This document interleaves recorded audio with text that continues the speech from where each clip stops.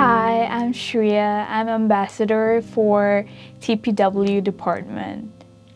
I wanted to be an ambassador because I was looking for internship and it kind of piqued my interest. And I was also interested to know like how city runs. So I think it was overall a good experience. I got like hands-on experience. I worked with the business support team and I got to make like a story map and dashboard for the team and I think it was so cool.